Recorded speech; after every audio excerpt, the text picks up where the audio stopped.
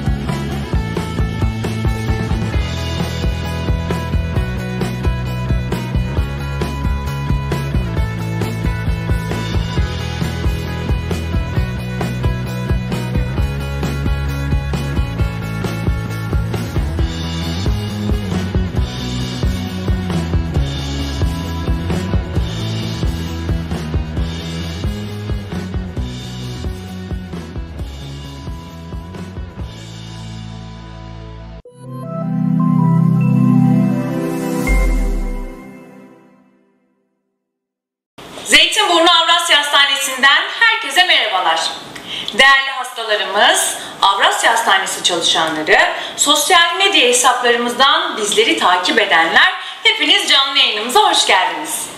Bu hafta radyoloji süreçleri paneliyle sizlerleyiz. Radyoloji uzmanlarımız Profesör Doktor Hakan Gençellaç, uzman doktor Serkan Aslan ve radyoloji teknikerimiz Seval Güner radyolojide merak edilenleri bugünkü canlı yayınımızda cevaplayacaklar. Öncelikle hepinize hoş geldiniz demek Hoş istiyorum yayınımıza. Evet, Avrasya Hastanesi olarak hastalıkların tanı ve teşhisinde büyük önemi olan radyoloji alanımızda altyapı, donanım ve ekibe önem verdik. Erken teşhisin önemine her zaman değinerek bu konuda gerek videolu anlatımlar, gerek canlı yayınlar, gerek sosyal içeriklerle sizleri sıklıkla bilgilendirmeye çalıştık. Avrasya Hastanesi Radyoloji Birimi medikal kadro, ekip birliği, ileri özellikli donatılmış cihazlarıyla farkını her zaman belli ederek tercih edilir alanlarımızın başında yer aldı. Görüntüleme ünitesindeki çekimleriniz için aynı güne randevu ve hızlı sonuçlar burada mümkün. Çok yakın zaman içinde yenilenen yeni nesil MR cihazımızdan sizlere çok kısa bahsetmek istiyorum. Birazdan tıbbi süreçteki önemini de doktorlarımızın yanıtlayacağının bilgisini verelim. Öncelikle Siemens 1.5 Tesla yeni nesil sistemle daha önceki tüm MR deneyimlerinizi unutun. Geniş tünel açıklığı ile maksimum bir hasta konforu. Biomatrix teknolojisiyle MR çekimini hastanın fizyolojik özelliklerine göre adapte ederek hastanın vücut, kas, su oranlarına kadar kişiye özel MR çekimi yapan bir sistem. Turbo Suite teknolojisiyle daha hızlı. MR çekimleri sürelerini %50'ye kadar kısaltmakta. Örneğin 10 dakika kadar süren bir beyin MR'ını 5 dakika kadar kısa süreye indirmekte. Fabrika gürültüsü gibi bir ses çıkaran MR sistemi değil. Quiet Suite teknolojisiyle daha sessiz. Konuşma sesi seviyesi düşünün hatta. Bir kapalı alan korkusu ya da kilo problemi olanlar dahi bu cihaza kolaylıkla girebilmekte. Daha yüksek çözünürlük özelliğiyle görüntü kalitesiyle en ufak lezyonları bile saptayabilmekte. Ayna sistemiyle çekim anında kendinizi görebildiğiniz, sizi bekleyen yakınlarınızı görebildiğiniz özelliğe hakim bir teknoloji. Burada stresiniz de bu özellikle aza iniyor. MR çekim alanımız oldukça ferah. Evet tavanda mavi bulutları seyrettiğiniz sizlere özel bir ortam. Korku yaratmayan geniş kanallı özellikleriyle yeni nesil MR şimdi hizmetinizde. E daha ne olsun? Her şey hastalarımızın memnuniyeti ve konforu için ve hepsi kaliteli ve ekonomik şekilde de hastalarımızın hizmetinde. Tabi cihazdan öte bunu raporlayan, yorumlayan, inceleyen hastanenin, radyoloğunun önemini ve değerini unutmamak gerek. Değerli hocalarım hastalara en doğru tanı ile güvenilir sonuçlarla yaklaşmamızda çok büyük önem ve katkıları olan isimler. Hem hastanede hem de dünyada yaptıkları iş alkışlanacak değerde. Evet radyologlarımız gerçekten gizli kahramanlarımız. Onların raporlamaları, bazen saatlerce süren incelemeleri, emekleri, tecrübeleri, teşhisleri polikliniklerdeki hizmetlerimizi de ciddi anlamda desteklemekte. Yine bir müjde daha verelim. Avrasya Hastanesi Zeytinburnu'nda altyapısı özenle hazırlanmış PET-CT hizmetimizi de çok kısa süre içinde hastalarımızın hizmetine sunmaya başlayacağımızı da duyuralım. Evet, radyolojide en çok merak edilenlerin birkaçı sizlerden bizlere mesaj yoluyla ulaştı. Şimdi hocalarıma da bu soruları yöneltmek istiyorum. Evet, kimler demiştik? Profesör Doktor Hakan Gençhellaç, uzman doktor Serkan Aslan. Tıbbi bilgi ve deneyimleriyle hastalarla olan güçlü iletişimleriyle doğru ve güvenilir sonuçlarla hastalarımızın karşısına çıkmamızı sağlayan iki değerli isim ve yine radyoloji teknikerimiz Seval Güner. Evet cihazların dilinden anlamak deseniz tam olarak da kendisi yıllardır da tecrübeleriyle birçok insan yetiştirdi. Evet sorularımla hemen ben başlamak istiyorum. Evet radyolojinin klinikteki yeri hastalar açısından öneminden bahseder misiniz? Herkese merhaba. Ee, Programa hoş geldiniz. Herkesi saygıyla selamlıyorum. Ee, Bize bu imkanı veren Avrasya e, Hastanesi grubu yöneticilerine ve sizlere teşekkür ediyorum. Ee, Radyolojinin e, klinikte e, çok çok önemli e, yerleri e, şüphesiz tartışılmaz. E, Eskiden e, hastalar e, bir hastaneye başvurduğu zaman öncelikle e, bir fizik muayeneden Evet.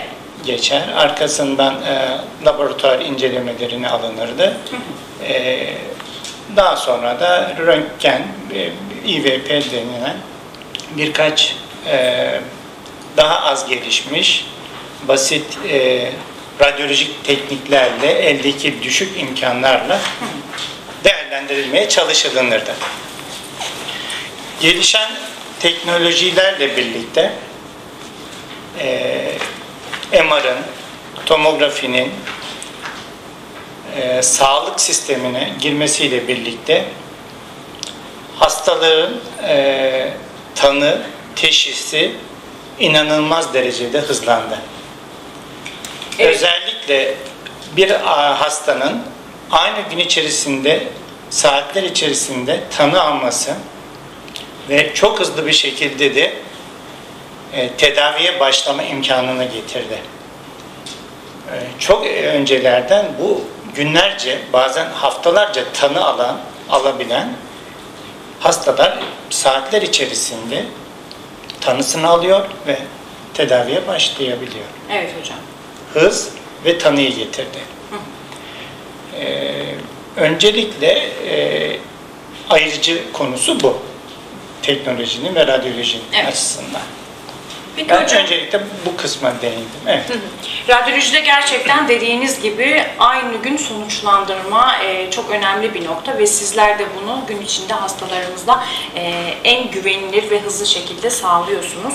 E, yine açılış konuşmasında da bahsettiğimiz gibi aynı gün çekim yine aynı gün içinde sonuçlandırmalarda önemli noktalardan birisi. Peki hocam e, günümüzde MR'ın klinik kullanım alanları nelerdir? Bunlardan bahseder misiniz? MR'ın klinik kullanım alanı bölgesel olarak değişiklik gösteriyor. Ee, beyin bölgesi, boyun bölgesi, göğüs, meme e, veya meme dediğimiz bölge, Evet. karın bölgesi, ekstremite dediğimiz uzuvların bölgesi hepsi ayrı bir ana bilim dalını ilgilendiren kısımları oluşturuyor. MR tüm bunlara e, hakim ve bu hastalıkların, bu bölgenin hastalıklarının hepsini de tanısını büyük bir oranda rahatlıkla koyabiliyoruz MR cihazı ile. Bu bakımdan örneğin bir beyin MR'ı çekilen bir hastada e, birçok hastalıkların tanısı hemen e, tanı alabiliyor. Örneğin e, Türkiye'de çok yaygın olarak görülen bir MS hastaları bir beyin MR'la, bir omurilik MR'la çok hızlı bir şekilde bunun MS hastalığını %90 ve üstünde tanıyabiliyoruz. Bunun üstüne de laboratuvar bulgularıyla eklendiği zaman e, bu hastalığın teşhisi saatler içerisinde konulabiliyor. E, boyun bölgesi hastalıklarında benzer veya meme hastalıklarında benzer ve diğer organlar içinde her şey içinde benzerdir.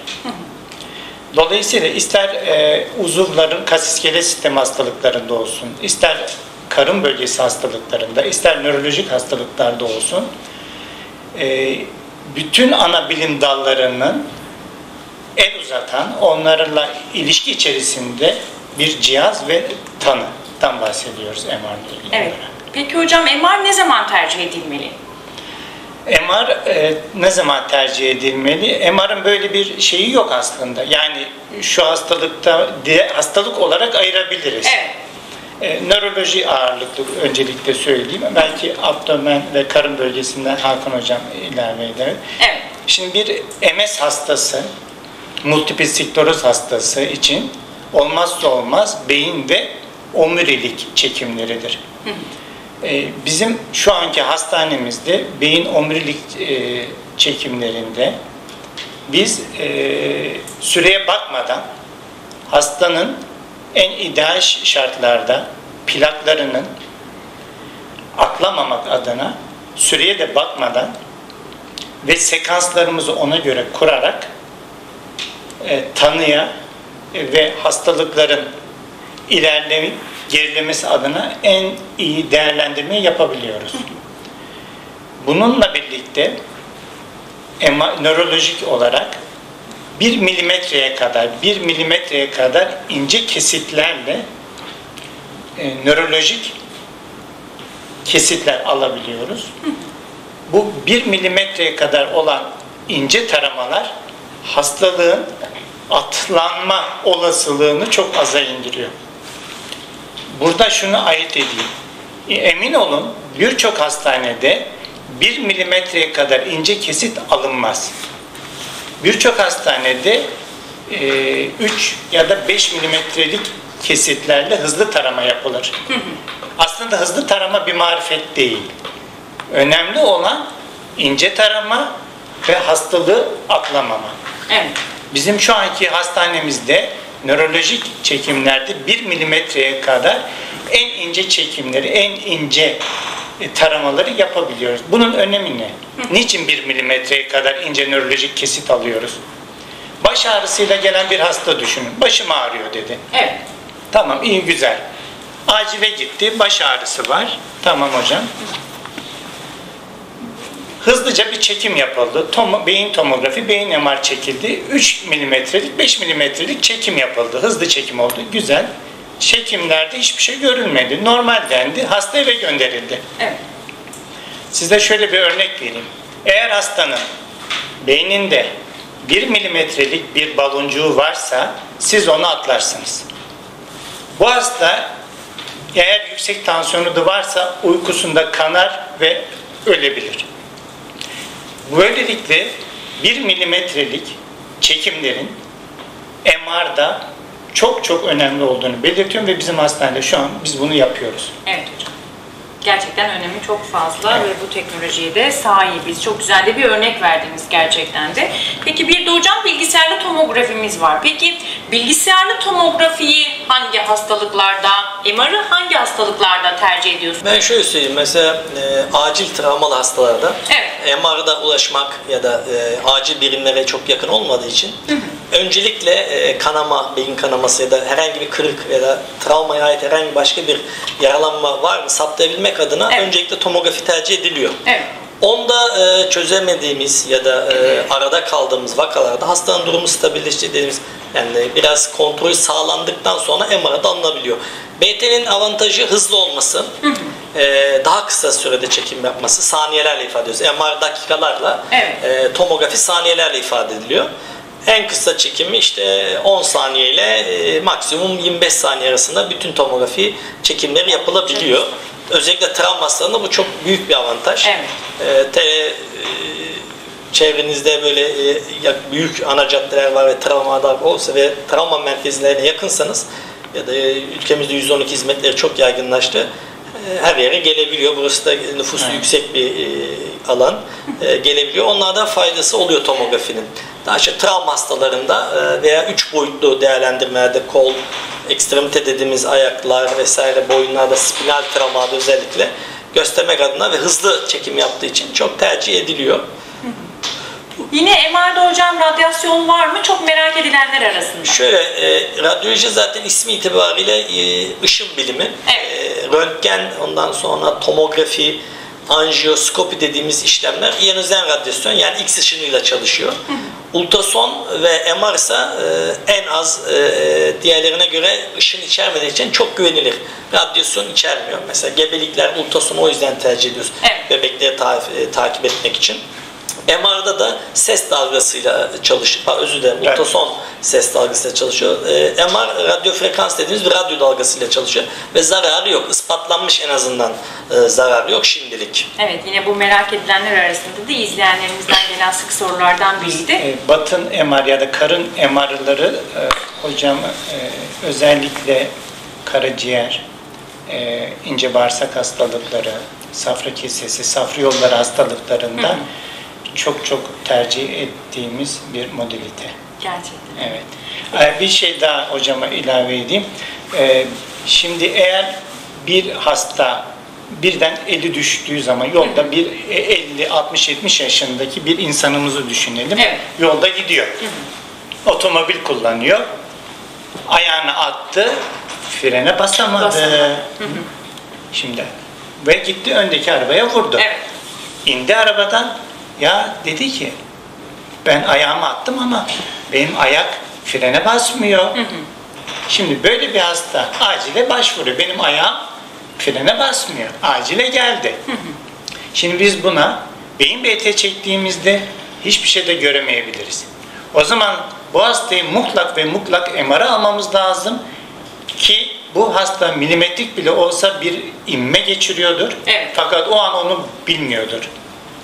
Yani bir acile başvuran bir hastanın yani BT ve MR tercih edilim evet birbirlerine üstünlükleri var ama birinde görmediğimiz bir zaman diğerini de çekmek durumunda kalabiliyoruz. Yani biri sadece tercih edilecek diye bir şey söz konusu değil. Biz beyin BT'yi de çekeriz arkasından bir difüzyon MR atarak o hastanın inme geçip geçirmediğini anlamak zorundayız. Yani tek modaliteyle bunda bir şey yok kesinlikle di- diyemeyiz yani diyemeyiz. Böyle bir de şansımız yok. rakip değil bunlar birbirine tamamlayıcı, Evet, destekleyici tamamlayıcı. birimler, Evet. modaliteler ve ikisi birbirini çok iyi şekilde tamamlıyor. Ve burada e, hem hastaya ilk tanı, e, karşılaşan muayene eden doktorun, radyoloğun tecrübeli olması çok önemli. ister raporları okurken, ister hastaya muayene ederken ve sonrasında tanı aşamalarında bunların hepsi basamak basamak olduğu için bunların hepsine hakim olmak zorunda. Burada bu hastanede emin olun bu kadro yani radyolojik olarak demiyorum tüm hastane, tüm kadro olarak gerçekten çok tecrübeli insanlar bir arada oluşturulmuş. Burada hastane yöneticilerini kutluyorum, tebrik ediyorum. Bu kadroyu oluştururken çok titiz davrandıklarını ben şahit oldum. Yani insanlarımız, halkımız Avrasya Hastanesi ben reklam için kesinlikle söylemiyorum, samimi duygularımı söylüyorum. En iyi kadroyu oluştururken son derece iyi niyetli ve özveriyle ve e, ticari amacı ikinci plana attıklarını gördüm. Bu konuda e, bu Avrasya Hastanesi'ne güvenlikle, güvenle gelebileceğinizi vicdanen, rahatlıkla ben söylüyorum, söylemek Yine istiyorum. sizler de burada emek veren bu isimlerden birisiniz. Gerçekten hastanemizde hem multidisipliner bir çalışma hakim hem hekimlerimiz birbirleriyle sık sık hastalar için iletişim halindeler. Gerektiği zaman yönlendirmeler halindeler. Ekip birliği gerçekten çok önemli O, bir o nokta. konuda bir ekleme yapayım. Tabii. Şimdi radyoloji e, genellikle e, hastanelerin zemin katlarında yer alır ama neticede bütün hastane hizmet verdiği için Kesinlikle. diğer bütün branşlarla yakın bir ilişki içindedir. Evet. Mesela klinisyenin ne bildiğini bilirsek biz e, ona göre daha faydalı olabiliyoruz ve burada onu sağlanabildi şu anda. Bütün klinisyen arkadaşlarla yakın bir ilişki içerisindeyiz. Telefonlarımız her zaman bize ulaşabilirler. Evet. Biz bazen bir şey görürüz ya bunda ne düşünmüşsünüz biz geri dönebiliyoruz ya da acil bir şey gördüğümüz zaman beklememek adına. Çünkü bazen gün içinde muayenelerde dok diyelim ki 5-10 hasta e, bakan bazı hekim arkadaşlar diğerini bekletir. Diyebiliriz ki ya bu hastanızda bunu gördük. Onu bekletmemek adına aralarda yardımcı olabildiğimiz durumlar oluyor. O yüzden Yani- iletişim iyi bizim aramızda. e, mutluyuz da. Bu a, çalıştığımız ortamda e, biz diğer doktor arkadaşlarla WhatsApp grubuyla da iletişim halindeyiz. Çok güzel. birbirimize zaman kaybetmeden WhatsApp üstünden o hastalık daha raporu yazılmadan, daha sisteme raporu düşmeden önemli gördüğümüz bir şeyi diğer doktor arkadaşımızı WhatsApp üzerinden arayıp o hastalığın örnek veriyorum bir tümör hastası. E, Fatma hocam buradan ona çok selam ediyorum.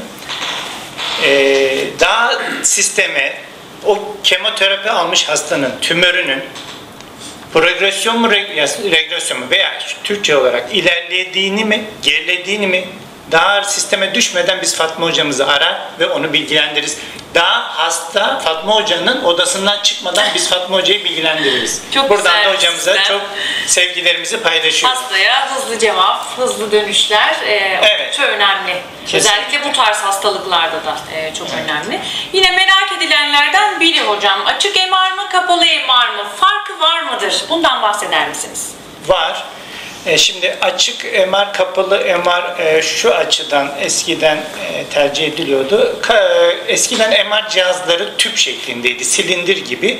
Arkası kapalı, dar, sanki bir tünele giriyor gibi insanlarda nefes alma e, zorlaştıran ve karanlık bir ortam ve insanlar korkuyordu. Açık MR Evet, ön ve arka taraf açık, bazılarında yan tarafları da açık. Fakat şöyle bir durum var. Şimdiki MR cihazları arkası açık, değil, tüp kapalı değil. Evet. Yani MR cihazları hem önden hem arkadan açık. Ya baş ya ayak mutlak açıkta kalıyor. Yani üstümüze örttüğümüz yorgan gibi. Ya başımız açıkta kalacak ya ayağımız açıkta kalacak. Hepsini örtmüyor. Bu Evet. bir. E, ama e, açık MR dezavantajlıdır. Nedenini söyleyeyim. Ben kimseye rencide etmek için söylemiyorum. Çünkü rezolüsyonu çok düşüktür. 0.3 Tesla, 0.2 Tesla vesaire. Açık MR'ın yapabilecekleri sınırlıdır. Açık MR'da bir e, spektroskopi çekemezsiniz. Bir e, efendime perfüzyon MR çekemezsiniz. Bir kardiyak MR çekemezsiniz. Yani hastanın e, tanısına fayda olabilecek tetkiklerin birçoğunu yapamaz. Neler yapabilirsiniz? rutinlerden çekebilirsiniz. Bir boyun MR, bir efendime söyleyeyim bel MR gibi çe- çekimler yapabilirsiniz. Ama onun rezolüsyonu yani görüntü kalitesi kapalı MR'a göre gerçekten düşük. Ve o burada önemli bir fark oluşturuyor. Kapalı MR'daki görüntü kalitesi açık MR'la kıyaslanamaz. Evet. Yani burada hastaları kesinlikle öncelikle illa ki ben korkuyorum diyorsa tamam açık MR'ı tercih edebilir. Ama hastanın böyle bir korkusu yoksa açık MR'a gitmesi hasta için dezavantaj. Bu kadar net. Onun hastaya şu şekilde bilgi mesela ben kendim de e, MR korkusu olan bir insanım. Ben Evet. girerken ya eşim ya ya da teknisyen arkadaşlardan rica ederim. Mutlaka elimi biri tutar ya da ben tamamen gelse ayağımı mutlaka tuttururum ki yani o hissiyatı hissediyorum şimdi. Yani derler ya damdan düşeni getir demişler nasıl. Onun gibi bir şey. Ben de çok korktuğum için e, açık MR tercihlerim oluyordu ama sonra bakıyoruz ki rezolüsyonlar çok kötü. Evet. O yüzden değmez. Hele şimdiki yeni nesil MR'lar eskiden diyelim ki 60-70 santim, 60 santimetre genişler. Şimdi %30-35 daha genişledi kapasiteler. Yani diyelim eskiden yattığınız zaman şurada oluyordu ve ya kalkamam falan diye endişeniz var. Şimdi öyle değil. Kalkabileceğiniz bir pozisyonda bir yer. Ama yine de tabii 100 hastanın bir tanesinde bütün şartlara rağmen Evet. e, açık MR'ı tercih bizim de önerdiğimiz hastalar oluyor. Çünkü çok ciddi e, panik atak olan hastalar olabiliyor. Evet. Ama onun dışındakilerin o istemi olabilecek hastaların %90'ı e, yeni cihazı gördükten sonra Evet. zaten böyle bir şey gerek Oldukça olmayacak. geniş. Yani anlatarak bizim rahat. teknisyen arkadaşlar da bilinçli zaten Evet. bu konuda. Kendilerine bilgi de veriliyor, görülüyor zaten. Sıkıntı Ama olmuyor. e, ben bir şey ilave etmek Buyurun istiyorum. E, cihazlar e, tanıda önemli. E, yeni cihaz alınması, e, teknolojinin takip edilmesi çok önemli. Ancak insan faktörünü O da çok atlamamamız Tabii. lazım. Son model Mercedes arabaya binebilirsiniz Evet. ama kaza yapmama, Evet. yapmayacağım diye bir şey yok. Dolayısıyla e, MR'ı başında olan tekniker arkadaşlarımızın tecrübeli olması e, ve o MR veya tomografiyi yorumlayacak hekim arkadaşlarının çok tecrübeli olması hasta açısından Çok son önemli. derece önemli. Çok. Dolayısıyla hastaların e, bir radyoloji ünitesinde olduğu gibi tüm ünitelerde bu hiç fark etmez. E, öncelikle hekimin kendi branşında e, tecrübeli olması hasta için bence en önemli atlanılmaması gereken Evet. şey o. Sizler de şu an ekran karşısında bu isimlerden birisiniz ve ekibin tabii ki bir diğer kısmı da var yine şu an burada olmayan radyoloji ekibinin e, görev başında olan onlara da selamlarımız olsun. Gerçekten bu konuda insan faktörü ve sizlerin donanımı, tecrübesi e, oldukça önemli. E, peki hocam az önce bahsettiniz e, MR'a girerken işte yanımda bazen eşimle bazen biri elimi tutsun. Gerçekten önceden bunlarla sık karşılaşıyorduk. Şimdiki yine MR cihazımızda aynı sistemimizde de hasta kendini ya da karşısında ekrandan yansımayla yakınlarını da görebiliyor. Bu da çok güzel bir konfor gerçekten. Orada bir yalnızlık hissi yaşamadan e, ortamı rahatlıkla izleyebiliyor. Peki ben bir diğer soruma geçmek istiyorum. Hocam BT ve MR çekimlerinde kullanılan ilaçlar oluyor. Bu ilaçların alerjik bir etkisi var mıdır? e, toplumun e, alerjik oranı e, ne bağlı olmakla birlikte e, her ilacın e, alerjik riski var. Eğer ki kişide bir böyle bir potansiyel varsa atopik şahıs dediğimiz yani e, alerjiye yatkın bir bünyesi varsa olabiliyor. E, onun için de gerekli önlemler. Önceki hastanın böyle bir alerjik öyküsü varsa mesela diyebilir ki benim polen alerjim var, şu ilaca alerjim var. Öyle bir şey olursa genellikle e, kullanacağımız e, ilacı hastada çok az bir e, serum fizyolojik dediğimiz sıvıyla test edip cilt altına biraz verip mutlaka e, dahiliyede bir görüş alıyoruz. Evet. Eğer ki bir şey olmaz ise eğer- ya da garantisi yok tabii bunun da ama e, olasılıkları en düşüğe indirmek adına bir şey gelişmezse ve dahiliyeden onu alırsak alerji bölümünden hastaya yine de premedikasyon dediğimiz yani alerjiyi e, oluşabilme riskini azaltmak için bir takım ilaçlarımız var elimizde. Onları e, teknisyen arkadaşım vasıtasıyla uyguluyoruz. E, öncesinden bir takım e, ilaçlar verip daha sonra cihazımızı alıp kontrast maddeyi verip e, mutlaka çektikten sonra mutlaka bir yarım saat gözlem altında tutuyoruz. Evet. Eğer bir şey gelişmezse gönül rahatlığıyla yollayabiliyoruz. Bir şey gelişti zaten hastane ortamında olduğumuz için Tabii. anesteziye, acilimize haber verip müdahalesini yapıyoruz. Çok şükür. Yani 100 hastada ya da diyelim ki değişebiliyor ilaçların konsantrasyona göre 100 hastada bir bir takım alerjik reaksiyonlar olabiliyor. Her alerjik reaksiyon ölümcül olmuyor. İşte kaşıntıdan, kızarıklıktan, sıcak basmasından e, Allah korusun ölüme kadar gidebiliyor. O tabi alerjik kaşıntı vesaire onlar diyelim yüzde birken ölümler 10 binde bir gibi çok daha düşük olabiliyor. Allah şükür meslek hayatımızda karşılaşmadık ama duyduk. O yüzden tedbiri alalım. E, korkmayalım ondan sonra. Tedbirleri de aldığımız için hastanemizde de çok sık yaşanılan bir durum değil çok şükür ki. Ve ultrasondan da biraz bahsedelim istiyoruz. Ultrason hangi hastalarda ve hangi hastalıklarda tercih edilmelidir? Hocam e, şimdi ultrason e, non-invazif. Evet.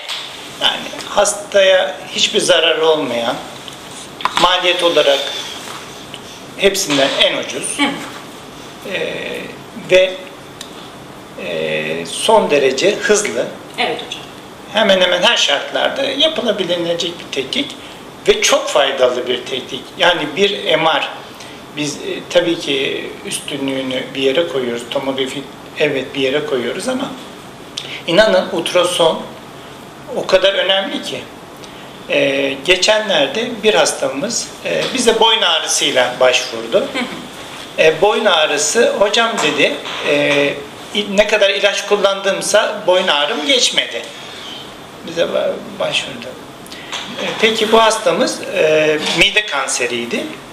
E, kemoterapi alıyor. Fakat e, boyun ağrısı, daha önce de e, boyun ağrılarım oluyordu hocam. İlaç alıyordum geçiyordu. Fakat 4 gündür ne kadar medikal ilaç kullanmama rağmen boyun ağrım geçmedi. Öyle mi öyle. Ee, tabii hocamız e, ya bunun altında ne var? Bir boyun ultrason e, istedi.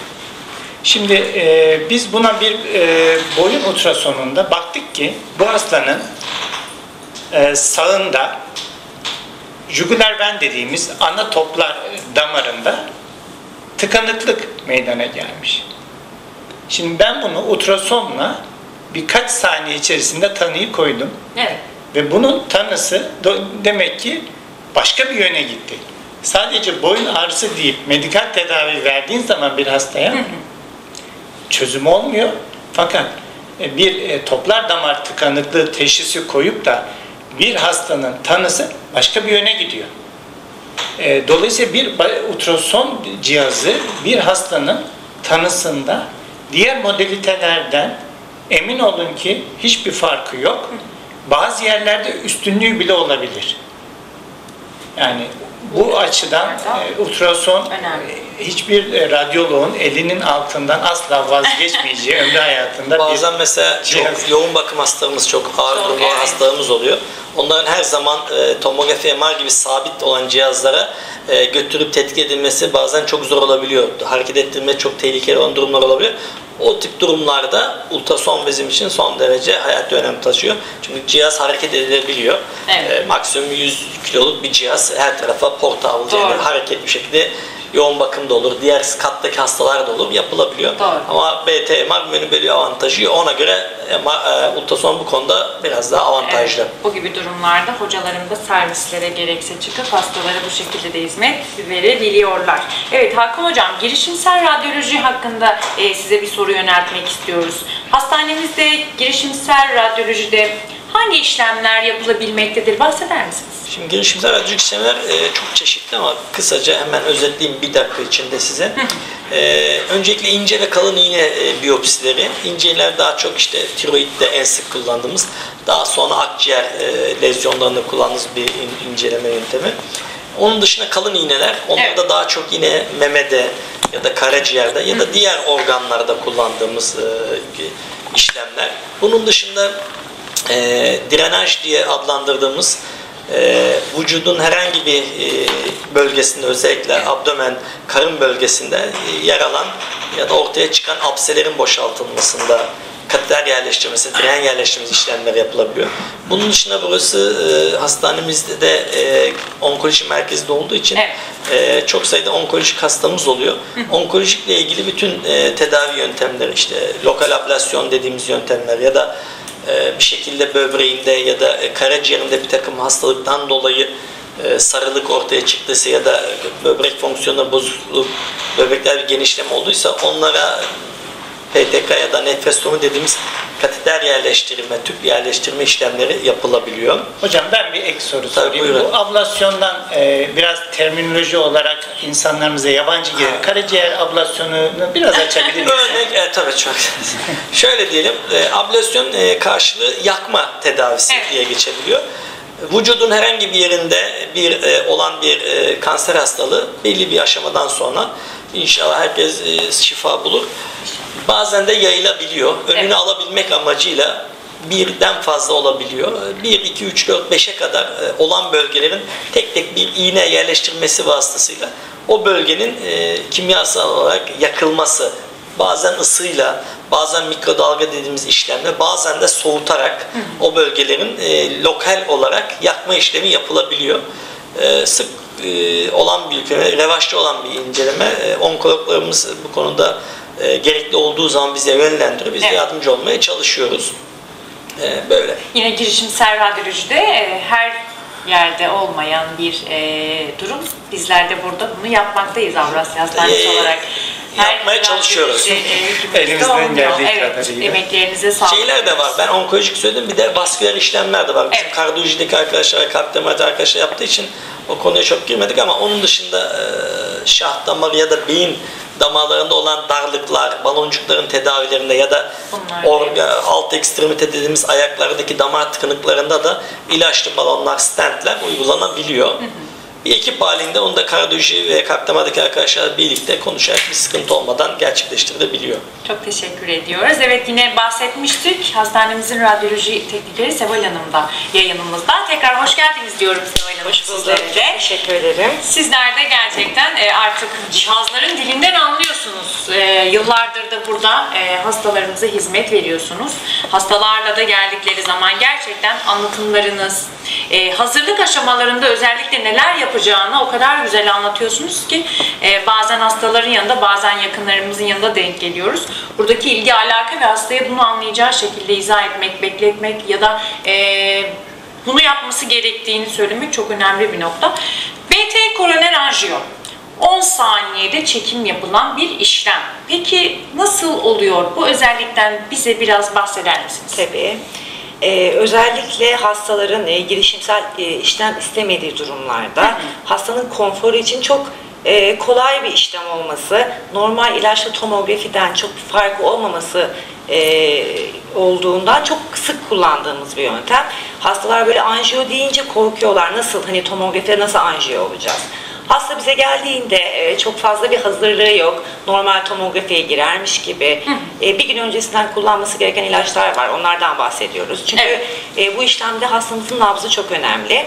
Sonrasında normal tomografi hazırlığındaki gibi hastamızı yatırıp EKG'lerle nabzını kontrol edip işlemi alıyoruz. Normal e, serum takılan damar yolu gibi damar yolunu açıp kontrast maddemizi verip 10 saniye içinde kalbi, damarlarını hepsini görüntülüyoruz. Hasta da konforuna hiçbir şey kaybetmemiş oluyor. 10 saniye. Hatta bitti mi diyorlar. Evet 10 saniye. Yani şu an anlatmamızdan bile daha kısa bir e, Evet, çekim evet. oldu. Kesinlikle yani özellikle sigara kullanan, 40 yaşına gelmiş, ailede e, genetik bir kalp rahatsızlığı olan insanlarda özellikle e, hani hasta diyor ben girişimsel işlem mi yaptıracağım ama korkuyorum.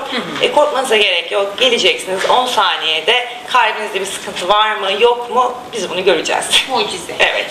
Peki görüntüleme cihazlarımızdan son olarak genel olarak kısaca bahseder misiniz? Tabii. Tabii e, Avrasya Hospital Radyoloji Yönetim Ünitesi'nde son teknoloji ürünlerle biz hizmet veriyoruz. E, yönetimimiz bu konuda çok hassas. Teknolojiyi yakından takip ediyorlar. gerçekten. Bizler de çok şanslıyız ki bu cihazlarda hastalarımıza hizmet veriyoruz. Bizler de kendimiz teknolojik olarak ilerliyoruz. E, 128 BT bir tomografimiz var. Yine bütün tetkikleri, her şeyi yapabildiğimiz. Evet. Yeni kurulan sizin de bahsettiğiniz gibi 1,5 Tesla Evet. sessiz sekansları olan hastaların en çok korktuğu o gürültü olmayan Yeni nesil MR. Yeni nesil evet. Evet. bir MR'ımız var. Artık MR korkusu kalmayacak kimsede. Ee, onun dışında yine mamografimiz var. Ee, gelen kontrollere gelen hastalığı olsun olmasın belirli bir yaştan sonra kontrol gerektiren durumlarda Evet. kullanabileceğimiz yine ee, ultrason cihazımız zaten var, dijital röntgenimiz var, seyyar röntgenimiz var, hastalar gelemeyen hastaların yanına gidip çekimlerini gerçekleştirebileceğimiz. Bunun dışında Avrasya'da yok yok her şeyi yapıyoruz radyoloji olarak. Ve sizler varsınız Evet. tabii ki. Evet değerli hocalarım Serkan Hocam, Hakan Hocam ve Seval Hanım. e, bugünkü yayınımıza olan katkılarınızdan dolayı çok teşekkür ediyorum teşekkür ben sizlere. Ve tabii ki de izleyenlerimize de katılımlarından dolayı teşekkürlerimizi sunup buradan selam ve sevgilerimizi göndermek istiyoruz. Evet her türlü poliklinik, güvenilir ve hızlı görüntüleme hizmetleriniz için Zeytinburnu Avrasya Hastanesi'ni tercih edebilirsiniz. 0212 665 50 50 numaralı çağrı merkezi iletişim hattımızdan da bizlere ulaşabilir ve randevu talebinde bulunabilirsiniz. Son olarak söylemek istediğiniz bir şey var mı? Sağlıklı kalın. Sizin hocam? Sağlıklı kalın. Evet ne diyoruz? Sağlıklı kalın, hoşçakalın. Avrasya Hastanesi Zeytinburnu yerleşkesinde radyoloji paneliyle sizlerle birlikteydik ve şu anda Profesör Doktor Ha- Hakan Genç Helnaç bizlerle birlikteler. Hocamdan kısa bir mesaj alacağız. Panelimizle ilgili neler söylersiniz hocam? Çok Valla çok memnunuz. Ee, teşekkür ediyoruz sizlere. Kanal 58 olarak e, gelip bizlerle e, halkımızı bilinçlenmek adına böyle bir e, etkinlikte bulunması bizi mutlu etti. E, eylemlerinizin devamını bekliyoruz. E, her branşla ilgili sadece radyoloji değil hastanemizde bütün branşlarda çok değerli hekim arkadaşlarımız görev almakta. Hepsiyle inşallah program yaparsınız ve halkımız bu konuda faydalanır diye düşünüyorum. Teşekkür ediyorum. Bizler size çok teşekkür ediyoruz. Radyoloji önemli bir branş. Ya bütün hekim branşlar, bütün e, ana branşlar e, değerlidir. E, Radyoloji en az onlar kadar değerlidir. Öyle söyleyeyim. Yani hepimiz bir meslektaşız diğer hekim arkadaşlarla ve hepimiz bir gemideyiz. Hepimiz insanlığın sağlığı için görev yapıyoruz. Dolayısıyla şu branş daha iyi ya da daha değerli, hepsi değerli benim gözümde. Temel bilimlerden e, klinik bilimlere hepsi tüm sağlık çalışanı sadece hekimler de değil tabii yani tüm sağlık çalışanları e, hemşiresinden sağlık personelinden güvenliğinden, yöneticisinden hepsi e, sağlık alanında e, ben ben sağlıkçı olduğum için söylüyorum. e, değerli. Bu son dönemde, bu pandemi döneminde bunu bir kez daha altını çizdi. İnsanlarımız biraz daha farkına vardılar. Çünkü belli dönemlerde hekimlerle ilgili bir arada sıkıntılar olabiliyor. Biz istiyoruz ki e, sağlık çalışanların hepsi değerli. Biz hastalar için çalışıyoruz zaten.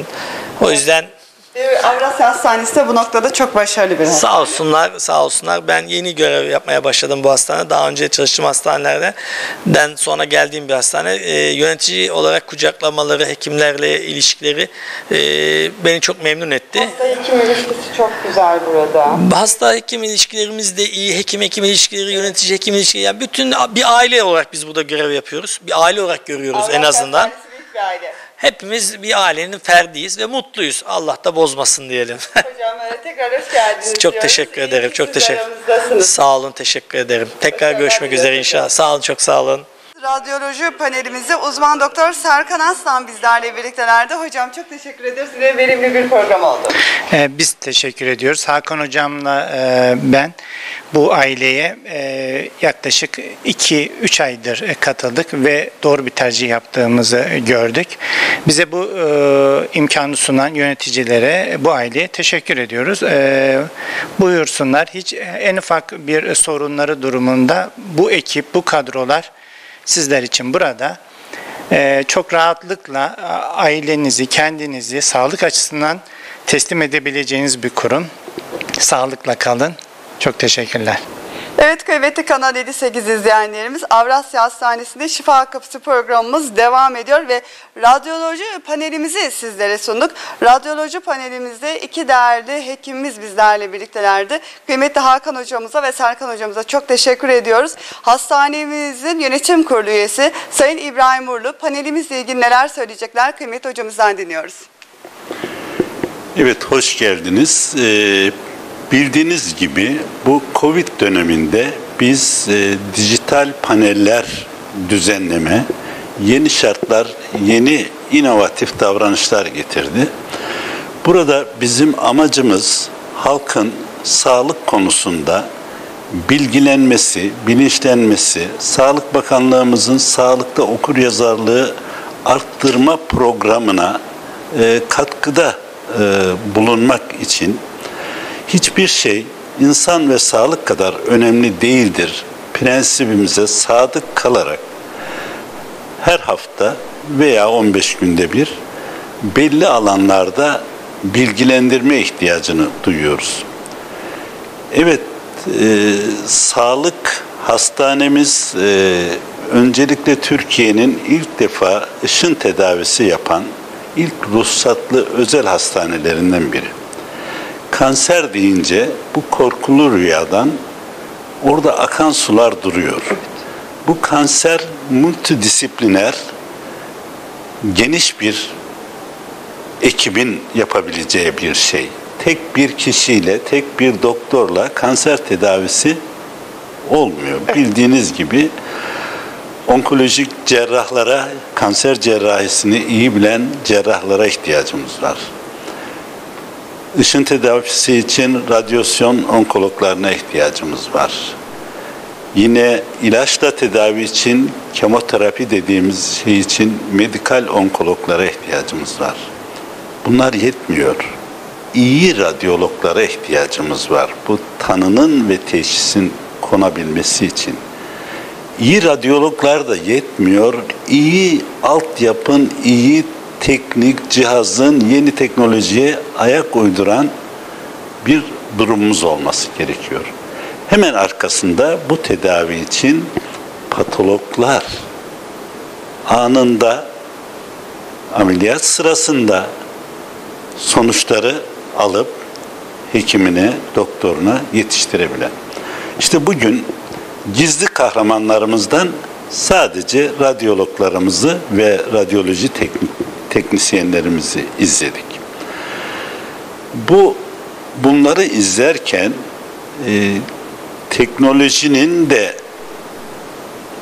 yeni en son modellerin gelişini ve bu teknolojiyi de kullanacak insan kaynaklarımızın elimizde olduğunu görmek beni ayrıca mutlu etti.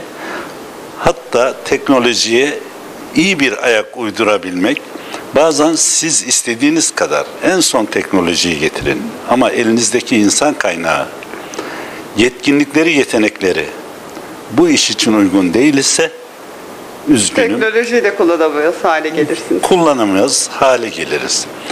Evet yeni yeni nesil bir MR'ımız, yakında PET CT'lerimiz, 128 kesitli tomografimiz, ultrasonlarımız, bu konudaki e, bir üniversitede var olacak her şeyin burada var olduğunu e, görmek, mesleğini icra eden insanların da bunun varlığından duyduğu mutlulukları göz bebeklerinden okumak, hissetmek ayrı bir mutluluk diye düşünüyorum. Ee, hedeflediğimiz gibi hiçbir şey insan ve sağlık kadar önemli değildir. Ama tek başına ne altyapı tedavi etmez, cihazlar da tedavi etmez. İnsan, insan ruhu ekip şeklinde paylaşabilen, birbirleriyle uyumlu süreçleri girdisinden çıktısına kadar sonuç odaklı ve kapsamlı düşünen e, yetkin, yetenekli insanlara da ihtiyacımız var. Ve onlar da Avrasya Onlar da var. e, şükürler olsun buradalar. Uzun yıllardan beri bizlerle çalışanlar var. Yeni duruma göre yeni yeni katılımlarımız da var. Bugün radyologlarımız e, yeni katılan e, güzel insanlardı Evet. diyeyim. Onlar da burada olmaktan çok mutlular. İyi ki sizler de varsınız hocam. Çok teşekkür ediyoruz hizmetlerinizden dolayı. Evet, biz de sizlere çok teşekkür ediyoruz. Önemli olan bu panelin içeriklerinin Evet. e, daha geniş Kitlelere insanlara uyuyor. buluşmasını sağlayabilmek. Çok sağ olun hocam. Efendim geçmiş olsun. Teşekkür ederim. Acil şifalar Sağ olun, diliyoruz. teşekkür Evet. ederim. Kendinizi hastalıklardan nasıl korudunuz pandemi sürecinde? Pandemi sürecinde genel olarak maske, mesafe, temizlik bu şekilde koruduk, dikkat ettik. Sokağa çıkmadık. Evet, kurallara riayet ettiniz. Evde kendinizi kalmaya baş korudunuz. tercih ettik. Kaza geçirdim ben de kolum kırıldı. Geçmiş olsun. Onun için tedaviye geldim. Röntgen falan çekilecek. Evet. Neden neden Avrasya Hastanesi'ni tercih ettiniz? Valla bizim semtimizde iyi hastane olarak biliyoruz. Evet. Semtimizin insanları geliyor, tavsiye ediyorlar. Biz de tanıdıklarımıza tavsiye ediyoruz. Bu şekilde yakınlarını tercih ediyoruz. Bir Evet. de İstanbul'un yakın, trafikte yakın, Bu şekilde ulaşıyoruz. Travma- Doktorlarından memnun musunuz? Memnunuz. Teşekkür ediyoruz hepsinden. Allah razı olsun. Eskiden kıymetini bilmiyorduk pandemi olmadan. Şimdi daha kıymetini biliyoruz doktor. Evet, sağlıkçılarımıza çok teşekkür ediyoruz. Çok teşekkür ediyoruz. Size de Ellerine geçmiş sağlık. olsun Çok efendim. teşekkür ederim. Teşekkür ederim. Teşekkür ederiz. Evet. Temiz, güzel. Herkese de tavsiye ederiz. Hastalıklardan kendinizi nasıl korudunuz? Şu anda aşınızı bulundunuz. Temizlik, mesafe. Temizlik mesafe kuralları Kurallar uydunuz. uyduk. Evet. Ee, ikinci doz aşınız mı yoksa Memlekette olacağız inşallah. memlekette olacaksınız? Aşı vurulması gerekildiğini buradan da mesajını sizden de Evet. alalım. Herkese aşı olsun yani. Tavsiye ederim herkese. Herkese sağlıklı günler dilerim. Doktorumuz gereken kolaylıkları gösteriyor. İlaçlar alıyoruz. Evet. İyi olmaya uğraşıyoruz. Oh, Her zaman Avrasya Hastanesi'ne geliyor musunuz? Neden Hemen- de şu anda buradayız? hemen hemen Avrasya Hastanesi'ne geliriz her zaman. Evet. Ben şey, karım ameliyatı oldum, anca ameliyatı oldum. Hanımım bir senedir kanser ameliyatı şey, tedavisi oluyor. Efendim, işte ihtiyacımız olduğu vakit geliyoruz. Tedavisi görüyor dediniz. Memnun musunuz tedaviden? Tabii. Şimdi birinci kısım bitti çok şükür. Anladın mı? İkinci kısım hafif başladı. O da 4-5 ay sonra olur bitecek. O da bitecek. Geçmiş Evet. olsun efendim. Teşekkür ederiz. Acil şifalar diliyoruz. Teşekkür ederiz. Her şeyden, her şeyden çok memnunuz. Hepsi daha uygun bir şekilde yapılıyor. Memnunuz. Fatma Şen değil mi tedavi görüyorsunuz? Efendim, evet. Fatma Hanım'ın Evet. hastasısınız. Kemoterapi görüyoruz. Her şey için çok güzel, memnunuz yani. Peki. Çal- Efendim? Sağlık çalışanlardan, hocalarımızdan hepsinden memnunuz. İnşallah iyi olur. Geçmiş olsun diyoruz Çok efendim. teşekkür ederiz canım benim. Sağ ol. Hizmetlerden. Çok memnun kaldık. Fatma Hanım'dan, hepsinden, Ayşegül Hanım'dan, Dahiliye Doktorum'dan. Evet. Hepsi, hepsi çok güzel. Allah bin kere razı olsun. Biz hastamızı getirdiğimizde çok kötüydü. Şimdi her şey çok çok iyi gidiyor. Güzel yani. İnşallah daha iyi günler olacak. Seanslarını alıyor. Tabii günü Radyoterapi. gününe geliyoruz. Yapılanları biz de günü gününe uyguluyoruz. Evet. Hepsini bilmediğimiz şeyi soruyoruz. Allah razı olsun. Yani Fatma Hanım başından bizi göndermiyor hemen. Her sorumuza cevap verir. Dinleriz biz onu. O da bizi dinliyor. Sağ olsun. Böyle yani. Tabii bu hastalıkta moral de çok önemli. Çok önemli, Siz de çok bir önemli. hasta yakın olarak. Evet, benim dayım, yengem yani. Biz elimizden geldiği kadar yapmaya çalışıyoruz. Gerisi Allah'a kalmış. Evet. Evet. Hastalar için en önemli olan şey moral. Moral, ve motivasyon. Aynı morali doktorumuz veriyor işte. Doktorunuzdan moral İsim alın. lazım değil. Pazartesi günü bir doktorumuza gittik. Kemik ağrısı için. Kemikler bacağı da ağrıyor. Efendim mesela. Aynı moralin sıfırını verdi bana. Evet kıymetli Kanal 58 izleyenlerimiz Avrasya Hastanesi'nde gerçekleştirilmiş olduğumuz Şifa Kapısı programımızın sonuna geldik. Bu hafta radyoloji panelimizi sizlerle paylaştık. Kıymetli hocalarımız bizlerle birliktelerdi. Profesör Doktor Hakan Gençhallaç ve uzman doktor Serkan Aslan bizlerle birliktelerdi. Teknisyenimiz de vardı. Radyoloji ile ilgili merak ettiğimiz tüm sorularımızın cevabını kıymetli hocalarımızdan aldık ve Şifa Kapısı programımızın sonuna geldik. Yayında ve yapımda emeği geçen tüm arkadaşlarım adına teşekkür ediyorum. Farklı bir programda yine sizlerle olma ümidiyle. Hoşça kalın, dostça kalın, sağlıcakla kalın.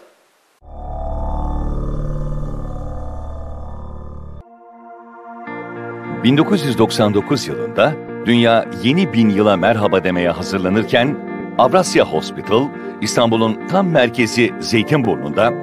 ...hiçbir şey insan ve sağlık kadar önemli değildir parolasıyla hizmete girdi. Hastane olarak projelendirilen ilk özel hastanelerden biri olan Avrasya Hospital'ın farkı, ergonomik yapısı ve özel mimarisiyle öne çıkıyor, hizmet anlayışında 21. yüzyılında ötesinde bir kalite anlayışını benimsediği fark ediliyordu.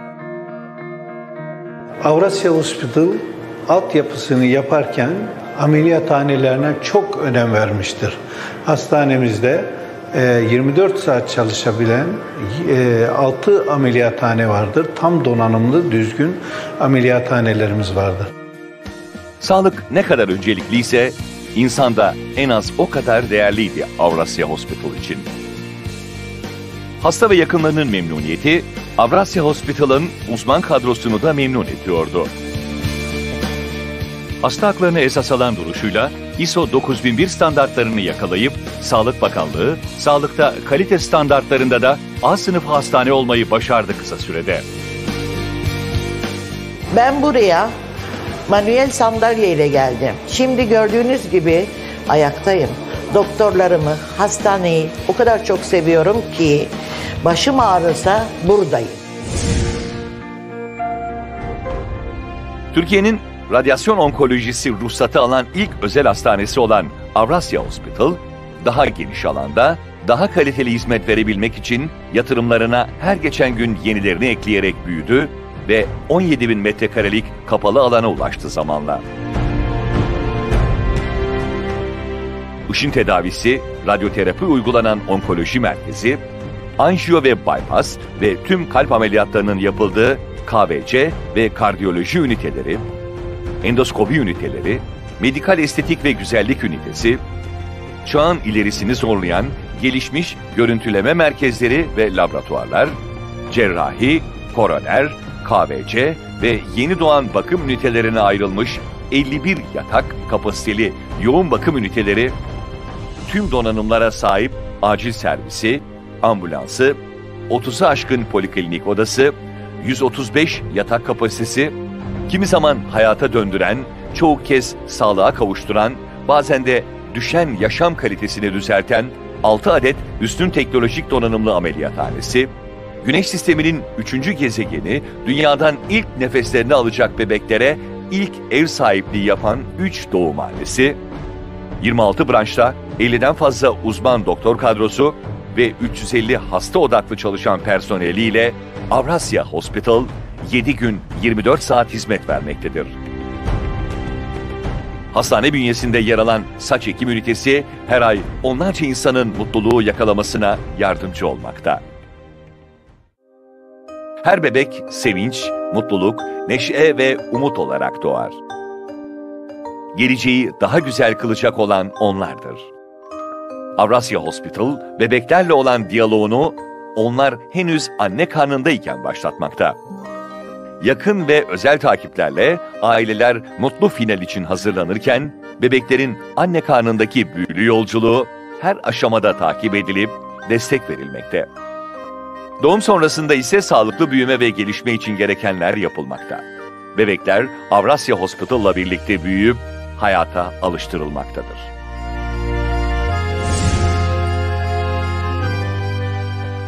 İstanbul'un göbeğinde yer alan Avrasya Hospital, Marmaray ve tramvay yolu üzerinde konumu ile size bir telefon kadar yakın. Bu telefon bir gün hayat kurtarabilir. 0212 665 50 50